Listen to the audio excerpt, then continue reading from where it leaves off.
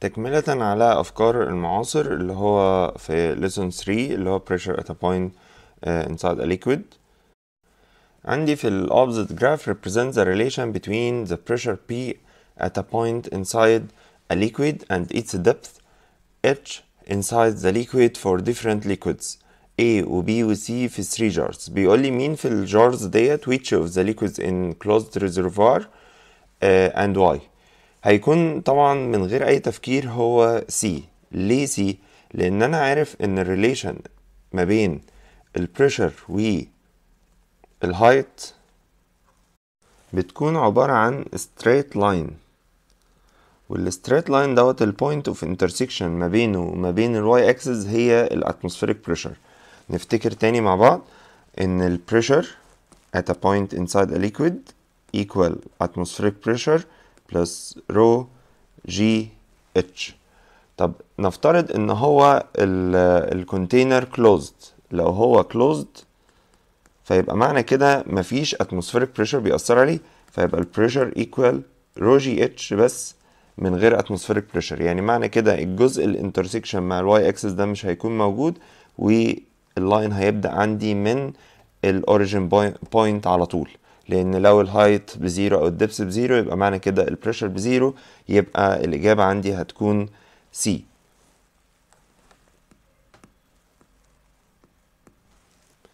واي زي ما إحنا قلنا كده. Uh, because it start from origin point so it will it is not affected by atmospheric pressure.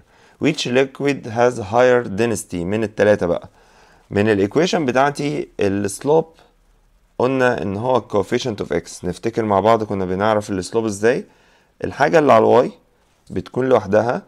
الحاجة اللي على ال x بتكون في ال side التاني. ال coefficient of x بيكون هو ال slope مين هنا ال coefficient of x هو rho في جي وبما إن الجي constant يبقى معنى كده higher slope higher density على طول. طب أنا عندي دلوقتي في تلاتة lines واحد اللي هو ال C inclined ب angle 60 واحد اللي هو ال B inclined ب 30 وال A inclined ب angle 50 يبقى معنى كده إن مين فيهم أعلى slope لأن ال slope هو عبارة عن tan ال inclination angle مع ال x axis اللي هو tan theta يبقى ال higher slope هو ال C ليه؟ لأن ال slope هو rho multiply g و higher slope يبقى معنى كده إن هو higher density. What is the value of atmospheric pressure in Pascal's unit? هو دلوقتي مدينا إن ال intersection هنا هو 1 بار يبقى أنا أقدر أجيب ال atmospheric pressure أقول إن هو 1 بار طيب البار عشان خاطر تتحول لباسكال فكل اللي إحنا نعمله إن أنا هشيل البار أحط مكانها 10 power 5 فكده بقت باسكال أو هي هي نيوتن per متر square. عندي house contains uh, 6 floors. The height of each is 3 meter. يبقى ده عندي المبنى أهو أو ال house بتاعي. وهنقسمه ل 6 floors. الهايت بتاع كل واحد منهم عبارة عن 3 متر بالظبط. Above the house there is a closed uh, water tank. في فوق الهاوس كله زي خزان مية. خزان المية مقفول فيعتبر إن هو آه ما فيهوش أو ما بيأثرش عليه atmospheric pressure. بيقول لي إن كل آه floor فيه water tap ال water tap يعني حنفية. ال height بتاعها من ال من ال floor نفسه بتعتبر 0.5 متر من ال ground بتاع ال floor if the water pressure at the water tap on the fourth floor يبقى أنا عند الدور الرابع الحنفية ديت أو ال tap ديت فيها pressure ال pressure دوت equal قد إيه آه بيقول لي إن البريشر هنا هنسميه pressure 4 equal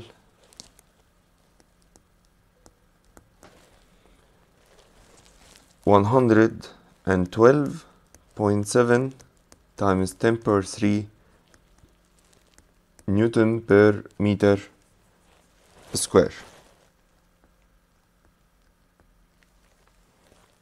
طيب عايز ال height بتاع ال water tank أنا هبدأ باللي أنا عارفه. إيه اللي أنا عارفه؟ إن أنا عندي ال pressure بتاع الدور الرابع. ال pressure بتاع الدور الرابع دوت هو جاي من ال height بتاع ال water من أول ال tank لحد ال tap أو الحنفية اللي موجودة في الرابع. طيب ال height دوت كله قد إيه؟ باعتبار إن ال height بتاع ال water في ال tank بس اللي إحنا عايزينه اسمه اتش وعندي هنا في 3 و 3 ولحد هنا بس هيبقى 2.5 متر يبقى كده في الآخر أقدر أقول إن ال pressure في ال fourth floor هيبقى equal rho g ال height ال total من ال fourth floor هيبقى equal 10 power 3 times 9.8 times ال height كله اللي هو هيبقى 3 plus 3 plus 2.5 plus h يبقى هتبقى 8.5 plus h بتاعت ال water اللي إحنا عايزين نعرفها بكام. وكل ده أصلا إحنا عارفين إن هو ب 112.7 times 10 power 3 حلو جدا. يبقى أنا كل اللي أنا هعمله إن أنا همسك الكلام دوت هوديه الناحية التانية بال divided. يبقى هيفضل لي 8.5 plus h هتبقى equal 112.7 times 10 power 3 over 10 power 3 times 9.8 فدي كده هتطلع equal 11.5 هنودي ال 8.5 الناحية التانية ب divided. sorry بال minus فيبقى معنى كده في الآخر ال h هتبقى equal 3 متر يبقى ده ال height بتاع ال water في ال tank وهكتبها جنبها كده 3 متر عشان خاطر هنستخدمها بعد كده. هو عايز بعد كده ال water pressure at the tap of the first floor. عايز ال pressure هنا عند ال tap ديت. يبقى برضه نفس الكلام بس المرة دي بقى هيبقى ال height من أول ال tap ديت لحد آخر ال tank يبقى في P هيبقى ال pressure في ال first floor هيبقى equal رو جي اتش من آخر ال water لحد ال first floor يبقى تبقى equal 10 power 3 times 9.8 times عندنا بقى هنا كام؟ عندنا 2.5 بس اللي هي من ال tap لهنا بعدين 3 و 3 و 3 و 3 و 3 يبقى دول 15 مع ال 3 بتاعت ال water بتاعت ال tank يبقى كده 18 وال 2.5 يعني 20.5 يبقى كده ال height كله. ممكن إن إحنا نجمعه مرة واحدة 20.5 متر يبقى كده دوت هيبقى equal. لما نحسبها هتطلع equal to 100 900 أو 2.009 times 10 power 5 كل ديت نيوتن per متر square أو زي ما هو كاتبها اللي هي 200.9 times 10 power 3 كل ال forms زي بعض. أعتقد يا رب تكون واضحة بالنسبة لكم. لو في أي أسئلة هتبعتولي إن شاء الله. نمبر 8 من المسائل بيقول لي a glass container of uh, base area contains uh, of uh, base area A contain two liquid X and Y which are immiscible يعني مش بيختلطوا ببعض uh, the upper surfaces of each of them above the base of container are 0.1 meter 0.17 meter respectively and the opposite figure shows the change of pressure P inside the two liquid by the change of distance D from the base of the container from the graph find the value of atmospheric pressure فهنتخيل كده ان الشكل اللي على اليمين دوت هما التو كونتينرز سوري التو ليكويدز بتوعي اللي هما اكس وواي هنا عند الاكس بيكون الدي بزيرو وبعد كده كل ما بطلع فوق ال d عمالة بتزيد بتزيد بتزيد لحد ما بوصل هنا اللي هي هتبقى أكتر من 0.15 لو عدينا ال points هتطلع 0.17 متر لأن هو ممكن ما يقوليش بس في الحقيقة هنا في المسألة هو قال لي إن هو 0.17 وقال لي إن دوت لحد 0.1 متر خير وبركة. عايز ال atmospheric pressure. ما هو ال atmospheric pressure لما d تبقى equal 0.17 يعني فوق لما تكون ال point فوق خالص. يعني مفيش مفيش pressure من ال gases عليها. لما تكون ال point هنا كل ما تبقى تحت يعني ال d تكون صغيرة يبقى معنى كده إن ال pressure هيكون كبير. كل ما تطلع فوق ال pressure بيقل هيكون ال pressure أقل حاجة عند ال height الكبير دوت. هو كل اللخبطة طبعا إن أنا في المسائل العادية ال height بحسبه من على ال surface هنا ال height حاسبه من ال bottom يبقى الموضوع مختلف يبقى ال line نازل بالمنظر دوت كده. حلو جدا. يبقى هنا عن ال graph هو أنهي point هي ال point اللي عند 0.17 اللي هي دي. يبقى ال pressure بكام؟ ب 9.1 يبقى كده ال atmospheric pressure هيبقى equal 9.1 وما ننساش إن ده كله times 10 power 4 باسكال أو newton per meter square تاني حاجة بيقول لي عايز ال liquid ال density بتاعت ال liquid y okay إحنا برضو ممكن إن إحنا نعمله بطريقة بسيطة. هو إن أنا بقول إن ال pressure عند ال point دي اللي هي عند ال separating surface هي جاية من إيه؟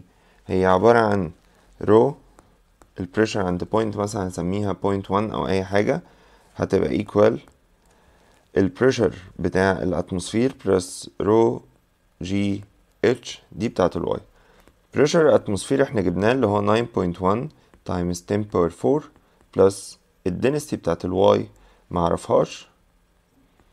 الجي ب 9.8 meter per second square ال height بتاع ال y هو ده بس من أول هنا لحد هنا.